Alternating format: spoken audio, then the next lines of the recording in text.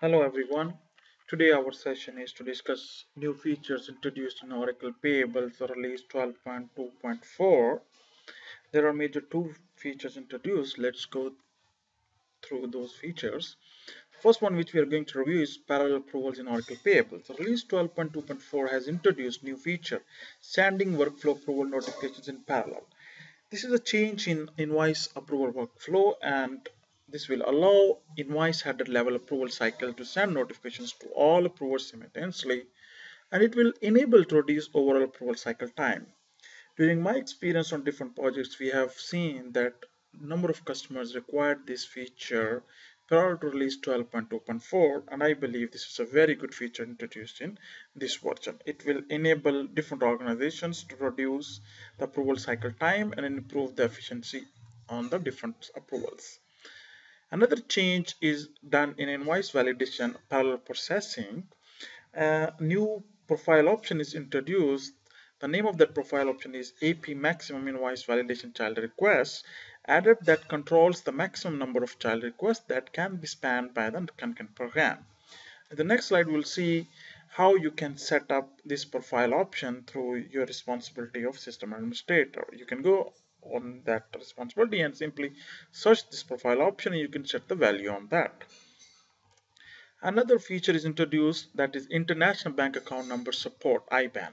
Customer and supplier bank accounts can be created or searched based on international bank account number.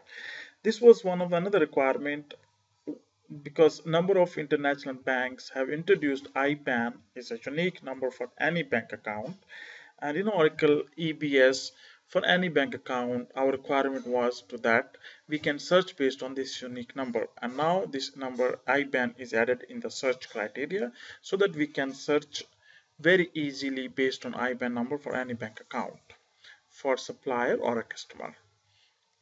With this we are done with the two major features introduced in release 12.2.4 and now it's time call for action.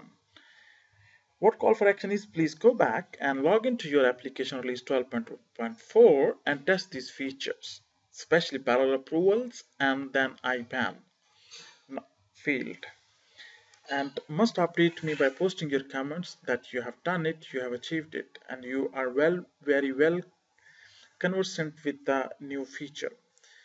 Another thing is if you will face any issue, do let us know. We will be able to help you out and if you don't have Oracle EBS 12.2.4 instance with you, I have already created very simple VirtualBox appliance step-by-step -step guide.